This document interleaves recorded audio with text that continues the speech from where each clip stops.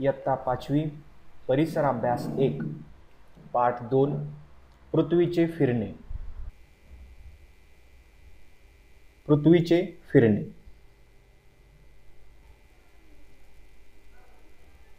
परिवलन. स्वतःभोवती फिरणारी कोणतीही वस्तू प्रत्यक्षात एका अदृश्य रेषेभोवती फिरत असते. वस्तूच्या स्वतःभोवती फिरण्याला परिवलन म्हणतात. तर ती वस्तू ज्या अदृश्य रेषेभोवती फिरते तिला त्या वस्तूचा अक्ष किंवा आस म्हणतात. उदाहरणार्थ भोवरा. पृथ्वीचे परिवलन. पृथ्वीचे परिवलन. एक पृथ्वी गोल फिरून पहा. तसेच एक ओळखा दोरा बांधून पृथ्वी गोलाजवळ धरा. निरीक्षण. ओळखा आणि पृथ्वीचा अक्ष या दोन रेषा एकमेकांशी कोण करतात? म्हणजेच पृथ्वीचा अक्ष कललेला आहे. असा अक्ष कललेल्या स्थितीमध्ये पृथ्वी परिवलन करत असतो. चित्रात पृथ्वीचा अक्ष एन एस या रेषेने दाखवला आहे. ही रेषा पृथ्वीच्या मध्यबिंदूतून जाते. यन व यस या बिंदूंना पृथ्वीचे ध्रुव म्हणतात. यन हा पृथ्वीचा उत्तर ध्रुव आहे तर यस हा पृथ्वीचा दक्षिण ध्रुव आहे.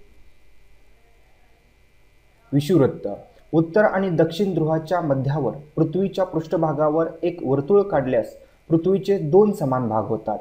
पृथ्वीवरील या काल्पनिक वर्तुळाला विषुवृत्त म्हणतात. विषुवृत्तामुळे होणाऱ्या पृथ्वीच्या दोन समान भागांना उत्तर गोलार्ध आणि दक्षिण गोलार्ध म्हणतात. करून पहा.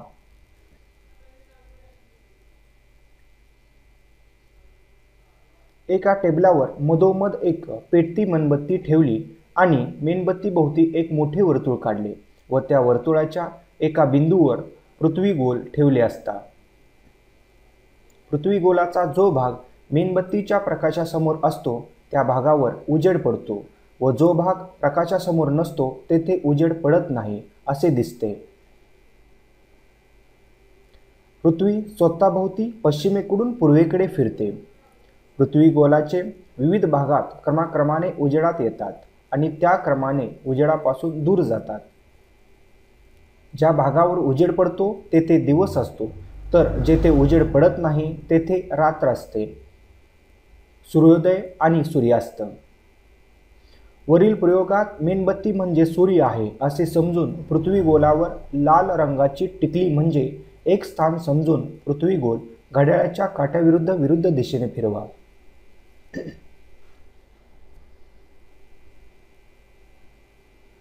जेव्हा लाल टिकली मेणबत्तीच्या प्रकाशासमोर प्रथम येईल तेव्हा तेथे सूर्योदय होईल. जेव्हा ती टिकली प्रकाशित भागाच्या मध्यावर येईल तेथे मध्यचिन्ह म्हणजे होईल.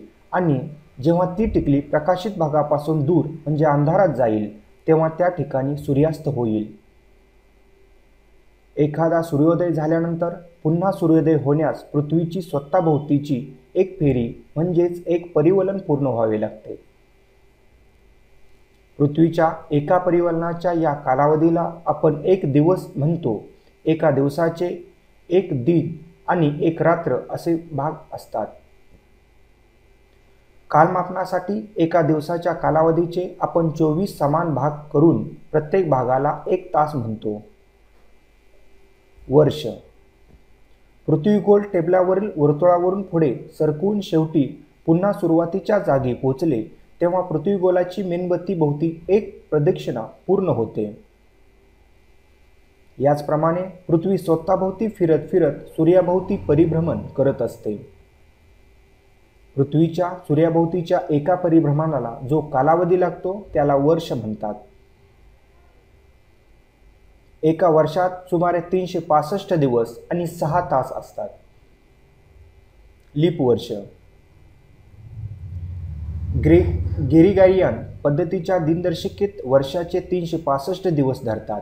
याचा अर्थ प्रत्येक वर्षात सहा तास कमी धरले जातात.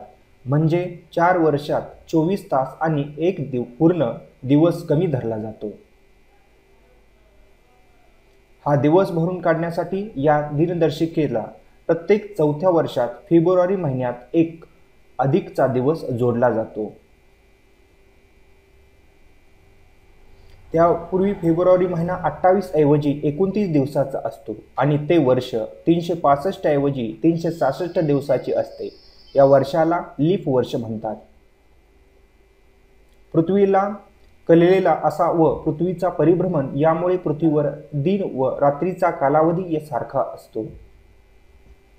बावीस मार्च ते तेवीस सप्टेंबर या काळात उत्तर गोलार्धात दिनमान जास्त असतो. म्हणजे दिन मोठा असतो त्यामुळे तेथे उष्णता जास्त असते. म्हणून या काळाला उत्तर गोलार्धात उन्हाळा असतो. याच काळात दक्षिण गोलार्धात मात्र रातमान जास्त असते. म्हणजेच रात्र मोठी असते. त्यामुळे या भागात उष्णता कमी प्रमाणात मिळते. त्यामुळे दक्षिण गोलार्धात हिवाळा असतो. तेवीस सप्टेंबर ते बावीस मार्च या काळात दक्षिण गोलार्धात दिनमान जास्त असतं. त्यामुळे तेथे उष्णता जास्त असते. म्हणून या काळात दक्षिण गोलार्धात उन्हाळा असतो. याच काळात उत्तर गोलार्धात मात्र रात्रमान जास्त असते. त्यामुळे या भागात उष्णता कमी प्रमाणात मिळते. म्हणून उत्तर गोलार्धात या काळात हिवाळा असतो. भारतात प्रामुख्याने उन्हाळा पावसाळा व हिवाळा हे मुख्य ऋतू मानतात. तसे आपण वर्षभरात वसंत ग्रीष्म वर्षा शरद हेमंत शिक्षिर असेही ऋतू मानतो. असे सहा ऋतूंचे चक्र असते. या ऋतूंशी निगडीत सण व उत्सव साजरे केले जातात. विविध गाणी म्हटली जातात खेळ खेळले जातात. चंद्राच्या कला आपल्याला दिसणाऱ्या चंद्राचा प्रकाशित भागांना चंद्रकला म्हणतात. पौर्णिमेला पूर्ण चंद्र दिसतो तर अमावश्याला चंद्र दिसत नाही. पौर्णिमा आणि अमावस्या. चंद्र पृथ्वीभोवती परिभ्रमण करतो आणि पृथ्वी सूर्याभोवती परिभ्रमण करते. परंतु या दोन परिभ्रमण कक्षा एकमेकांना छेदतात. म्हणून सूर्य चंद्र आणि पृथ्वी हे एकाच सरळ रेषेत नेहमी असतात असे नाही.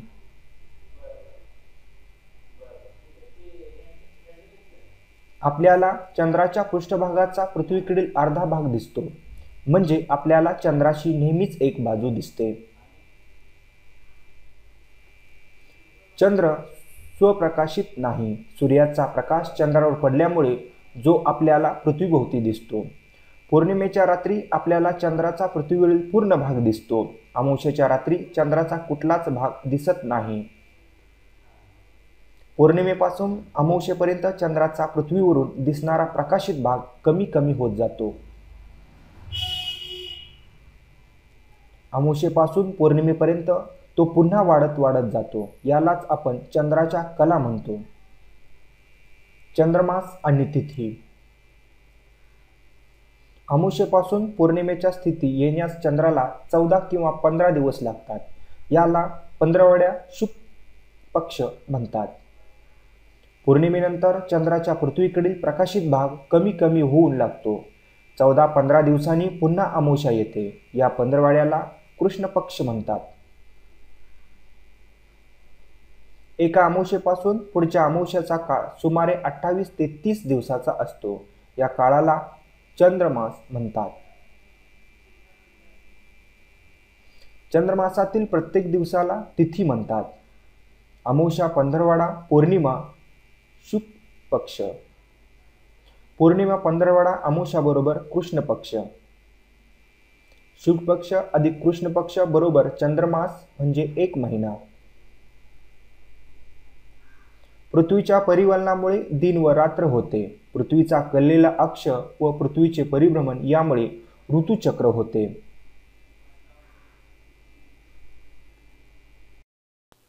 मोफत ई लर्निंग सेवेसाठी या व्हिडिओला लाईक आणि सबस्क्राईब जरूर करा.